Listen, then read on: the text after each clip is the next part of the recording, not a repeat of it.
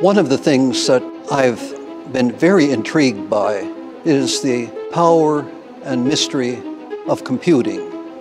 The first sentence of the book that Jeff and John Hopcroft and I wrote, The Design and Analysis of Computer Algorithms, begins with the sentence Algorithms are at the very heart of computer science. Jeffrey Ullman and Alfred Aho helped develop formal language theory by inventing efficient algorithms, which would later become the algorithms at the heart of the tasks of a compiler. Both Al and I were involved in uh, the early stages of, of automata theory and, and, and language theory. Uh, in summer of 65, I'd gone to work for Seymour Ginsburg out in uh, Santa Monica.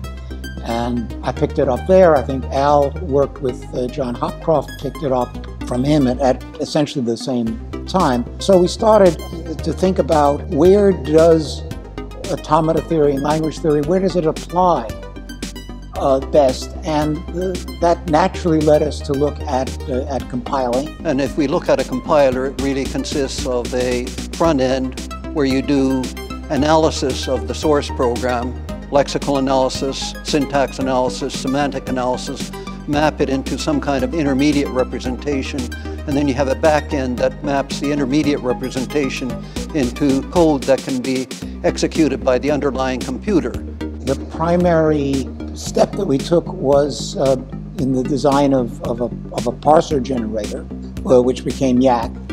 It was Jeff who coined the term Yacc for yet another compiler compiler. It was developed by Steve Johnson, one of our colleagues, but the three of us worked in concert uh, trying to develop some of the algorithms and theory behind Yacc, and Steve was the one who implemented it. Ullman and Aho's contribution to both the theory and practice of computer languages has earned them the 2020 ACM AM Turing Award. Compilers, translating high level computer language into a more basic set of instructions, exist today largely in part due to Aho and Ullman's contribution in this field of research. So, how did the two meet? And more importantly, how were they able to foster such a strong bond of collaboration? Al, Al says we met at, uh, on the registration line at Princeton in, in I guess, 63. Uh, I have to admit, I don't remember that. I don't think we had any notion of, even the notion of collaboration uh, didn't perhaps come up until we were at, uh, at Bell Labs together. We joined this fledgling uh, computing science research center at Bell Labs. It was the research center that invented the Unix operating system, the C and C++ programming languages, and made a number of other foundational contributions to computer science.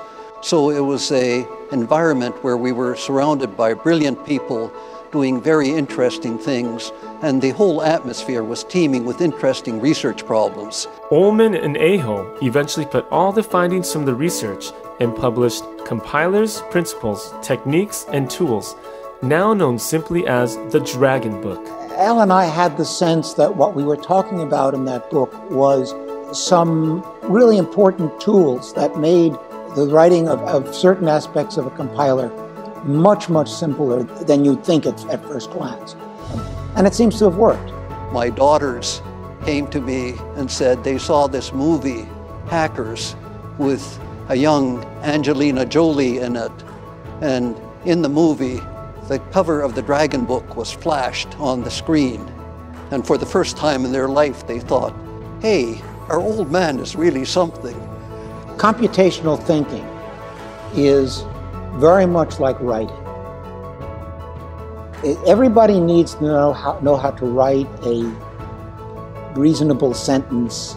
Similarly, I think everybody needs to understand what the programming process is, even though you may not be writing code as a profession. If you've read Yuval Harari, he wrote a book called Homo Deus, and at the end of the book, he asks some interesting questions. Two of them are are organisms just algorithms, and is life just data processing? So I will leave it at that. Learn more about the Turing Award recipients in the June 2021 communications of the ACM.